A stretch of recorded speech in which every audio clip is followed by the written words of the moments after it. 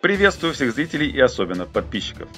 Прежде чем начать, хочу спросить у вас, на какую тему за последнее время были самые массовые протесты в Казахстане? Конечно, без учета попытки госпереворота в 2022 году, так называемые январские события или Кантар. Это немного совсем другая тема. Пока вы вспоминаете, или наверняка уже вспомнили, вернемся к этому позже, хочу вот о чем рассказать. Не все казахстанцы до сих пор в курсе, а некоторые и не хотят, чтобы были в курсе. Всем любителям Евросоюза и тем казахстанцам, которые мечтают, собственно, с Казахстаном туда срочно и немедленно вступить в этот самый ЕС. Любителям все тех же кружевных трусиков, где манна небесная и все уже точно будет зашибись. Хочу просто напомнить тем, кто забыл, а тем, кто и не знал, рассказать про одну незначительную деталь. Так, пустячок, который старается не то что сильно не афишировать, но и вовсе не упоминать все активные агитаторы побега Казахстана в Евросоюз. Ну что, вспомнили, на какую тему были самые массовые протесты в Казахстане? Вспомнили.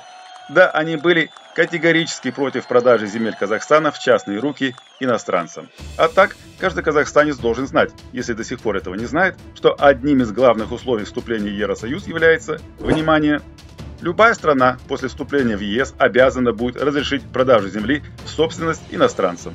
К примеру, сейчас Молдавия будет проводить референдум о присоединении страны к Евросоюзу.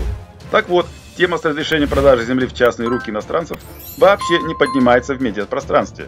А любое ее даже незначительное упоминание моментально аппаратом нынешнего президента Майи Санду редактируется, либо изымается, удаляется. Не дай бог граждане страны узнают про такое или вспомнят.